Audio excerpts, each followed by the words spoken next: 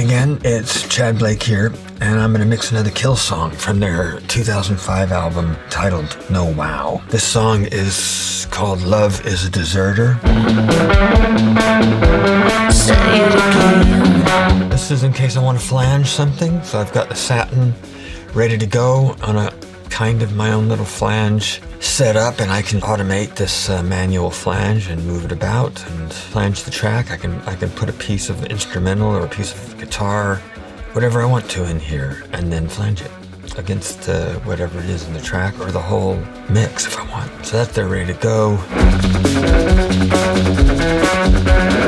I just started using this like six months ago and I can't seem to take it off. I used it on a project that I wanted to get some extra width out of, and I was playing with it. And when I took it off, I kind of went, oh, huh, I kind of like it on there. So I left it.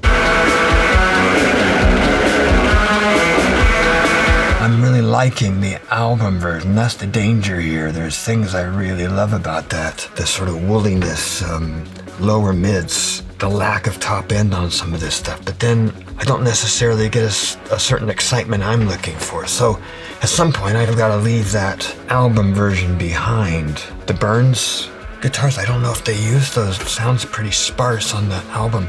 I think what I want to do is I want to try to make the thing work without that and get the vibe so I think it's in the ballpark. And then maybe I can sneak that in.